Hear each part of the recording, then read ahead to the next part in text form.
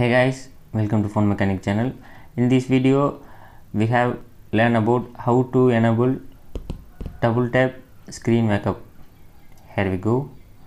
First of all open setting. Setting here. Open that one. Then go to lock screen. Here lock screen. Click that one. Then you can see double tap to double tap backup or turn off screen that one want enabled then go to back. Now uh, check how to that one work. Just a second. Double tap on your screen. It's just wake up. One moment. Okay. Double tap your screen. Also screen off screen on.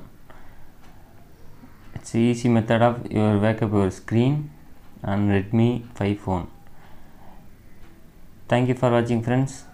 Wait for more update. Please subscribe our channel and support me. Thank you friends